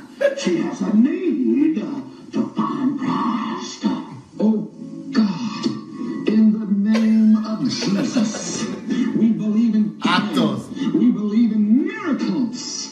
I personally thought I was a lot better at it than he was. Tilton, who never finished college, admits he was a drug user, but says he was saved when some people came to his house and explained Christ. I just changed. I just fell in love with everybody. But he tells followers how he and his friends talked about running preacher scams and cashing in. We said that when we graduated, that we would buy a good tent, a dynamite sound system, a good amen section, and fly around the country and get rich. We sold everything that we had, bought an old ragged tent and a big old truck and a travel trailer, and we headed out to tell people about this gospel of Jesus. That was 1974 when Tilton started out, and by 1981 he had hit the big time. How? Primetime has learned that for several years Tilton courted a man accounts have tied to organized crime and drug smuggling. Hmm. Herman Beebe, a financier whose banks gave Tilton a $1.3 million loan, though Tilton claims he never met the man.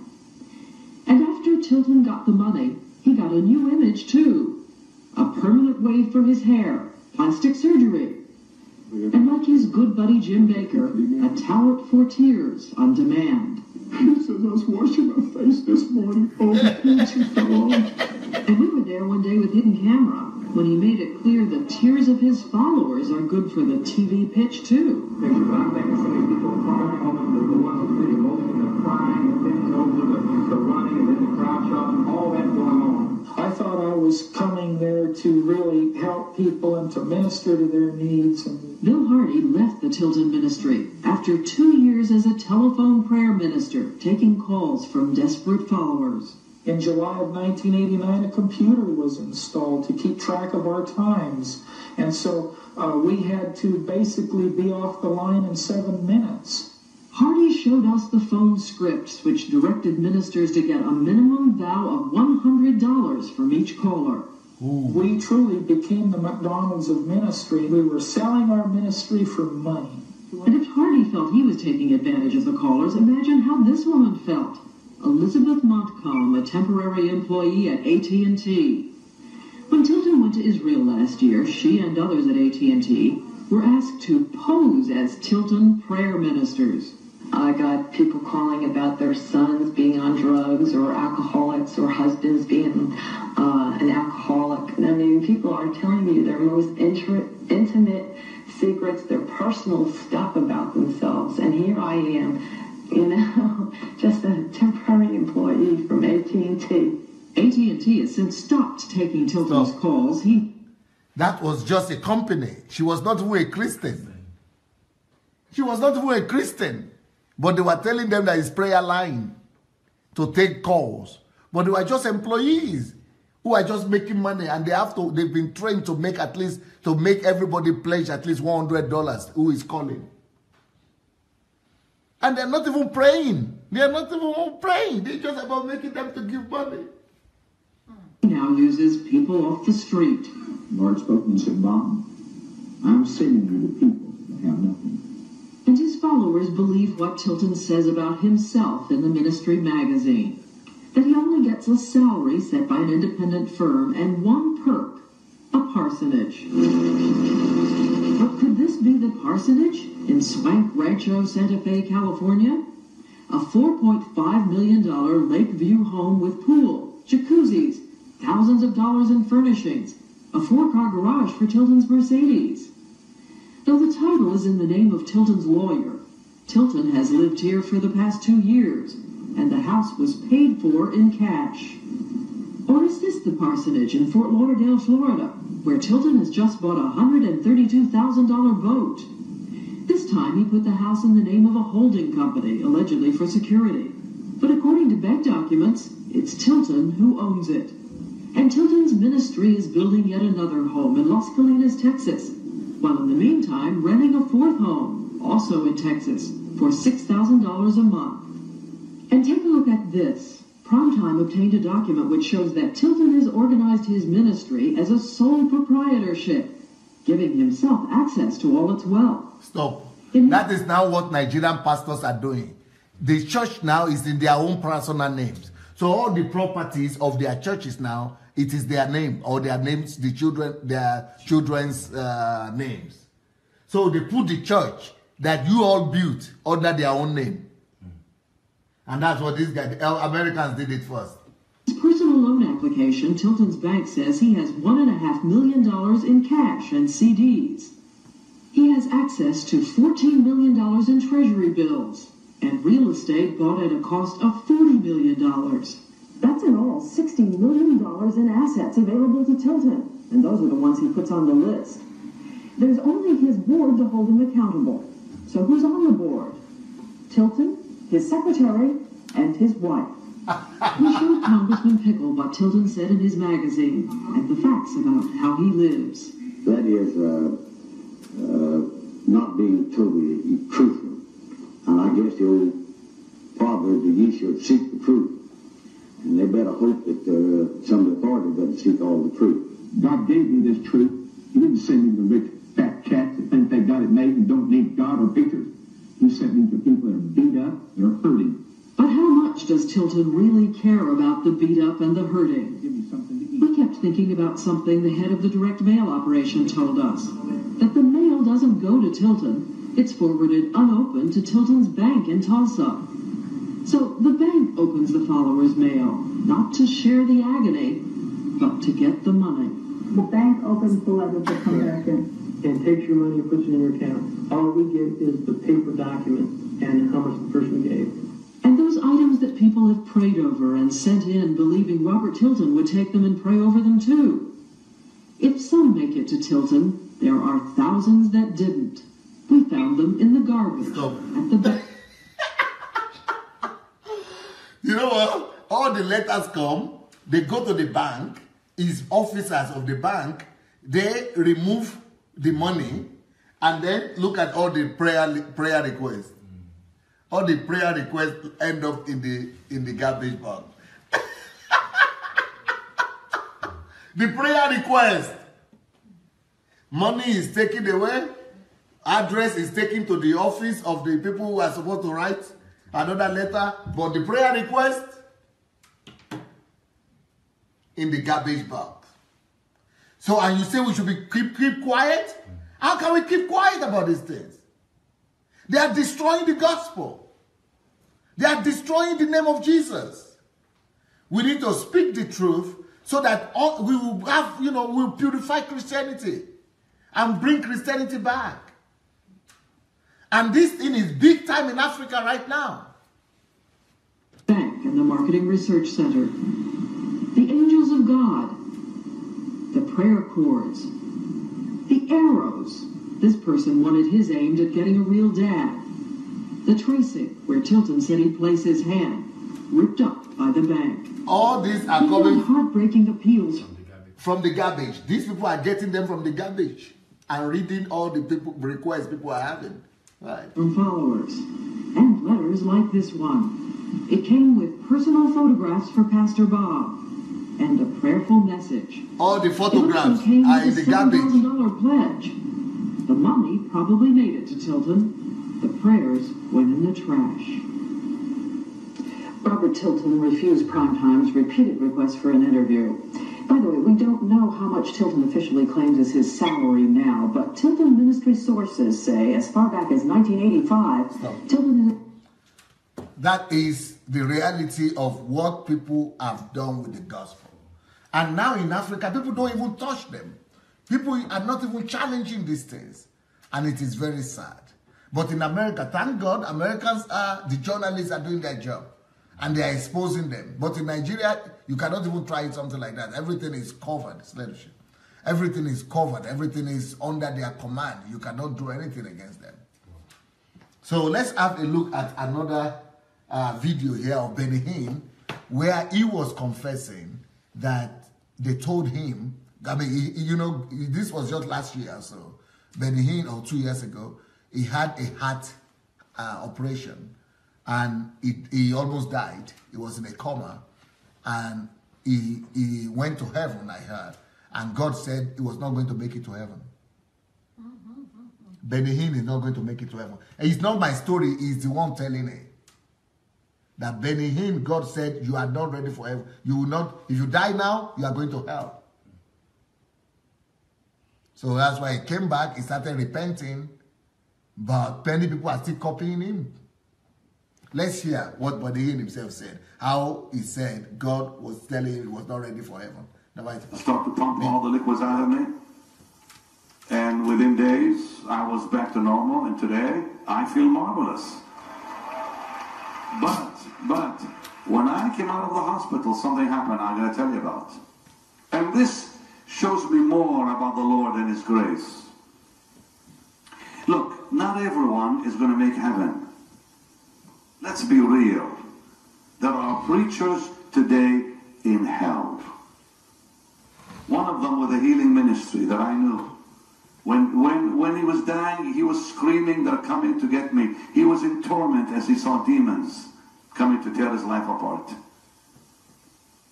It doesn't matter how you start. It matters how you finish. That's what matters to God. Now, I come out of the hospital and I have a dream. Please hear me now. This is very important.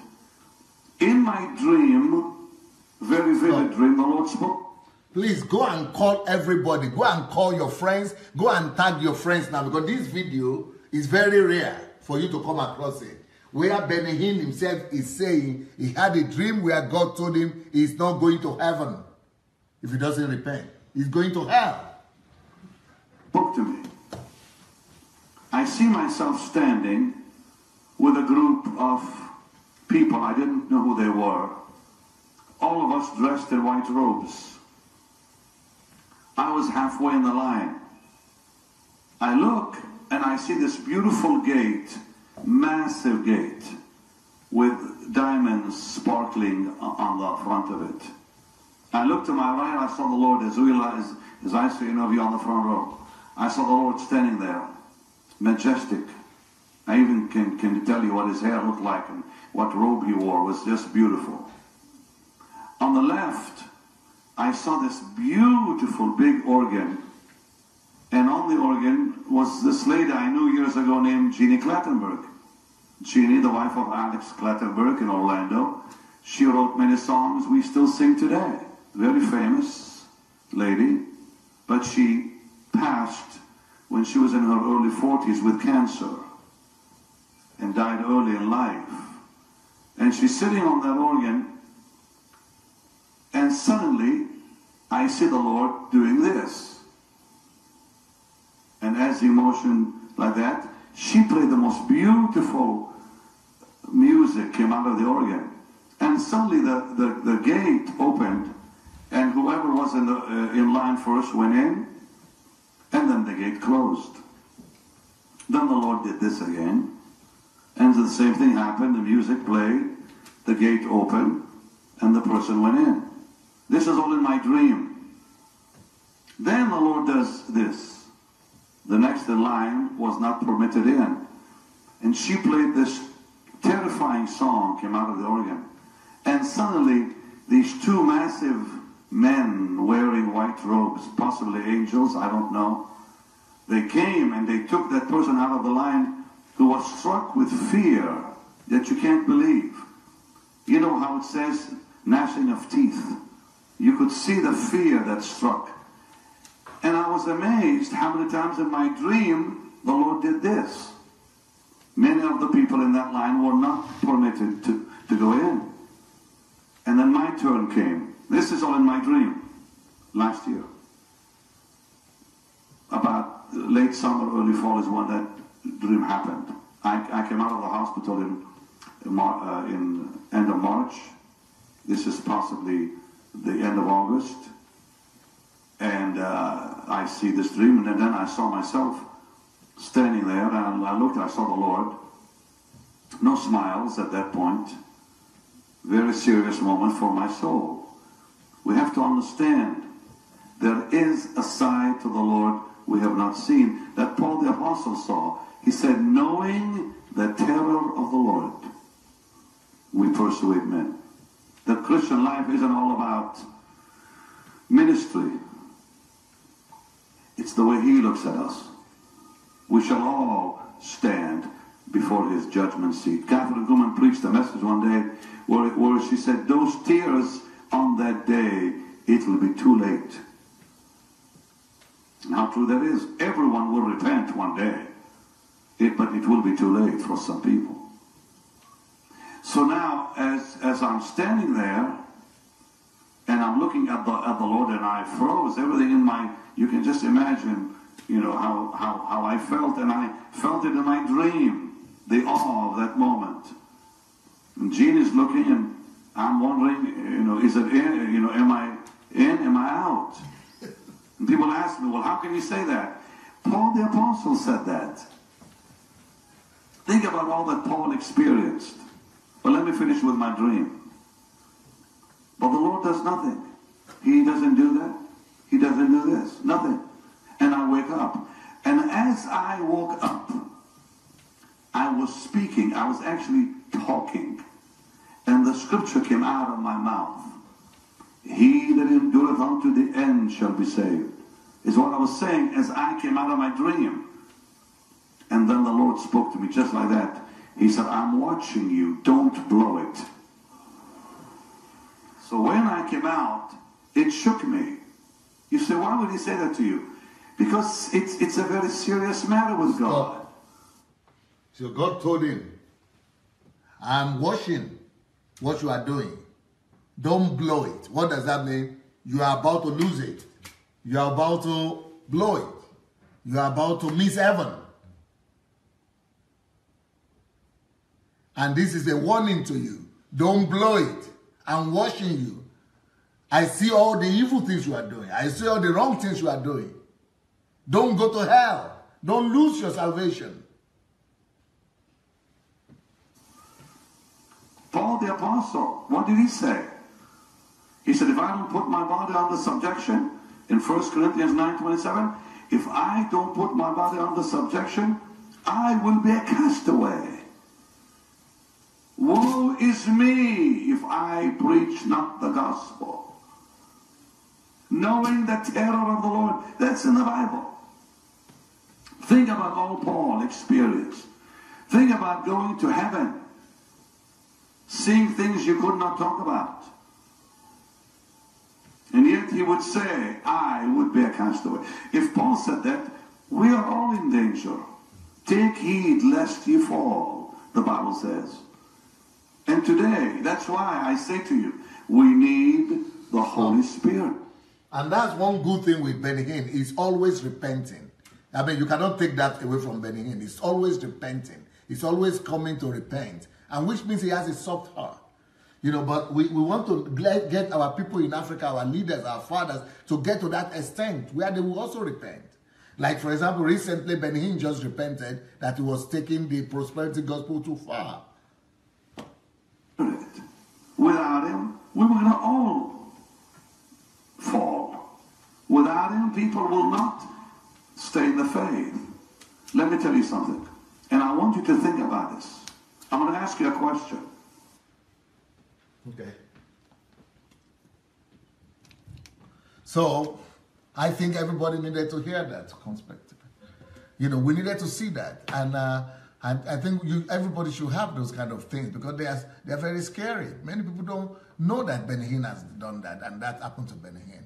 And, but not just because of Benny Hinn, but we should just know that the prosperity gospel has, led a lot of people to hell and is still leading a lot of people to hell. So the prosperity gospel and the God of mammon. Then the topic of today is the wealth of the sinner stored up for the Christians is the wealth of the sinner stored up for the Christians? Proverbs 13 22. A good man leaves an inheritance to his children's children, but the wealth of the sinner is stored up for the righteous. So, what Christians have done, the charismatic pastors and the go, no, go, prosperity ministers, is that they take this passage out of context. They take this passage and say what this means is that, you know, the wealth of the sinner is thought of for the righteous, so the righteous doesn't need to do anything. Just pray or believe God. But that is totally against the nature of God. Let's see what this passage really means. The wealth of the wicked is laid up for the righteous.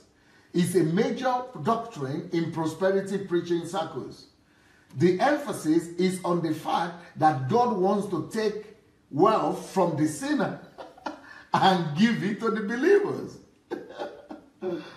Proverbs 13 22 does says, A good man leaves an inheritance to his children's children, but the wealth of the sinner is thought of for the righteous. This is true, it is written, and the Bible does not lie, isn't it? But is that what it means? It doesn't mean the way we are being told. Nevertheless, when preached this way, there is contradiction in the very principles of God's nature. God is a just God. God is not unjust. So this is totally against his own universal principle. It's against his own nature. You know, in Africa, people don't question whenever people take a, a passage from the Bible and just quote it. They just say, ah, but it's in the Bible. Once it's in the Bible, it means it's true. No, it's not enough that it's in the Bible. You must still compare it to the whole, you know, concept of God, to the whole nature of God. You have to compare that scripture to who God is, to the person of God, to the personality of God, to the doctrines of God, to the character of God, to the nature of God, to the standards of God. Is it not against, if we just take that passage alone, is it not against his nature? First Timothy 6, 9 to 11 says, But those who desire to be rich, that passage, if you just say God will give all the, the wealth of the sinner to you, is like lost. Is giving yourself, you know, oh no, you know, excuse to go and be lost in after other person's wealth. It is against the nature of God. The principles of justice of God will not allow collecting the wealth of the wicked to give to the Christian. Listen again. The principle of the justice of God will not allow collecting the wealth of the wicked, even if he's wicked. God is just. He will not just collect and give to a lazy Christian that doesn't know how the wealth is made in the first place. To give to the Christian because the Bible teaches in Proverbs 10:4 that the diligent worker will prosper, no matter whether that worker is a believer or not. So how can God now go and take the wealth from the diligent worker, unbeliever, because he's an unbeliever, but he's diligent, he's an expert. God will go and take the thing from him and give it to a Christian who is not diligent. The Christian will just mess it up. He will lose everything because he doesn't know how to maintain it. So it is diligence that determines wealth. It is not either you are a Christian, you are not a Christian. It is diligence that determines it. Proverbs 10 4. He who has a slack hand, so let's say this one who has a slack hand is, a, is an unbeliever, is a believer. How can God now go and take the, um, the wealth of the diligent, he who is qualified for the wealth, to go and give it to the one who has slack hand? God will never do that. He who has a slack hand becomes poor. That is the principle of God. Even if you are a Christian, as long as you have a slack hand, you will become poor. You give tithe, you don't give tithe, you open, you, you stop heaven, or you don't stop heaven. You ask for open gate, or don't open gate, or you will still come to poverty. Because the principle says, he who has a slack hand becomes poor, but the hand of the diligent makes rich. You have to be diligent to be rich. And if you are, uh, it doesn't say you have to be diligent as a Christian. No, just diligent. Either Christian, no Christian, is just the diligence that matters. God makes people rich because of diligence and hard work, not because they are followers of one or the other prosperity teachers. There is yet a more tragic consequence of this direction of thinking, which is that it warps the underlying sense of love, kindness, and fairness of his sub- subscribers. Because if you believe in those kind of things, it means that you don't believe in fairness. There's no fairness. It means you believe that you believe in corruption. Is that kind of you know, believing that the wealth of the uh, ungodly, the sinner is laid up for you without you qualifying for it, it means that you believe in corruption. you don't have kindness. So you lose your kindness, you lose your sense of fairness, you lose your sense of love. It makes you an unbeliever. That is what these prosperity preachers have made us to become. Whereas the Bible teaches us to love our enemies, this kind of teaching ends up causing to hope and pray for the downfall or misfortune of the unbelieving wealthy. And that's what we are doing today. So we will be rejoicing that the unbeliever's wealth will come to us. We will be wishing evil for, the, for somebody else, which is totally against the nature of God. So we can dispossess them of that wealth we have been eyeing. It means we are lusting, which is totally against what God teaches. Lust of the eye, lust of the flesh. So it's totally against the nature of God. So that's, that, that, that whole concept cannot be right because it's against the nature of God. You know, it's like it's, it is, that makes us to come under mammon. It means that the God of our life, then, no one can serve two masters, for either he will hate one and love the other, or else he will have to be loyal to one and despise the other. You cannot serve God and mammon. So the God of pros- the prosperity gospel is being driven by the God of mammon. The way to look at the meaning of Proverbs 13:22 is that we reach wealth when the righteous produce a better product than anyone else on the market. That is the only way for the wealth of the ungodly to come to you. For example, can you come again? Uh, uh, success. Let's say I'm writing books. These are my books, right? Yes.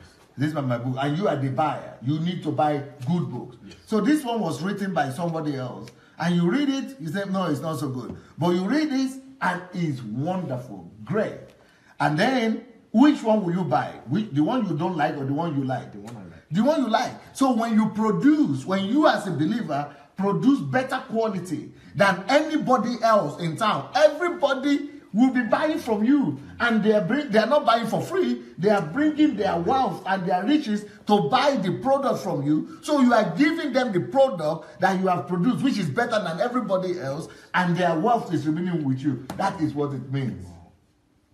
By the wealth of the sinner laid up for the righteous. Because the righteous will produce something a service or goods that is of a higher quality that they, they, that is so superior that they cannot go to any other place but to come to you that's the way it's supposed to work but in in christianity these days in these uh, prosperity gospel circles they just would think that no the only thing you need is just to to pray and believe it and confess it. it is is is delusion They call it wealth transfer. Wealth transfer is delusional. It's rubbish. Thank you. So, the way to look at the meaning of Proverbs 13 22 is that we reach wealth when the righteous produces. That is why the church must be preaching the principles of production, the principles of how Christians can begin to produce better product than anyone else in the market. And that's why I've been reading all those books that I was showing you people the other day. This is because the righteous will produce goods and services not only to impress people, but also to please God. And because God's standard is higher than just to sell standard, so because God requires higher standard, so it means your product is of higher standard.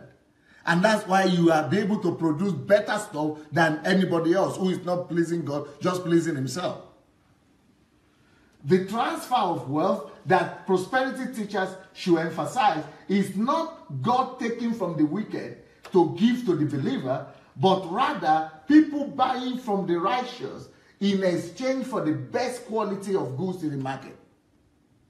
Remember, there is no transfer of wealth without Luke 10 10 to 12. That means Luke 16 10 to 12. He who is faithful in what is least is faithful also in much.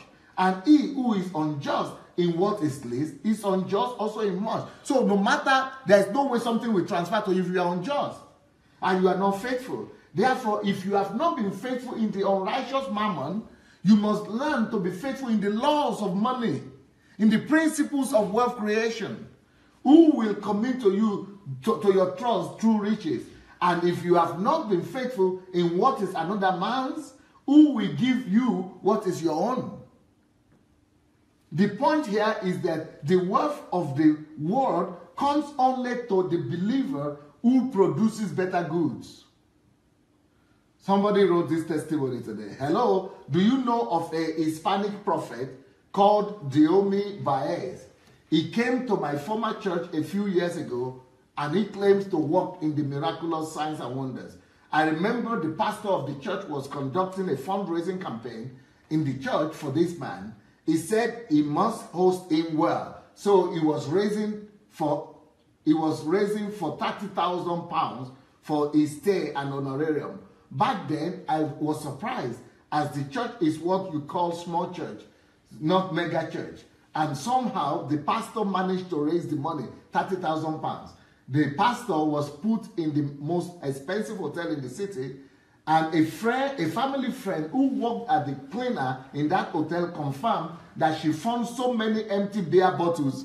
That's where their their their money, 30,000 pounds is going. Empty beer, beer bottles, and he's a miracle worker. Miracle worker prophet. Empty beer bottles in his room. He prophesied to a lady who had cancer and said she would not die but live. Sadly, the woman died. Unfortunately, the woman died a few years later. You see, deception. These people are just killing us. They are destroying us. They are destroying people's lives. And that's why we must stand up for righteousness and say no, no way for the God of Mammon. The God of Mammon has hijacked the church. Now, is there any way for Christians to prosper? Yes. Not just Christians, anybody. Christians or unbelievers or just follow the laws of money. If you follow the laws of money, it will be good with you.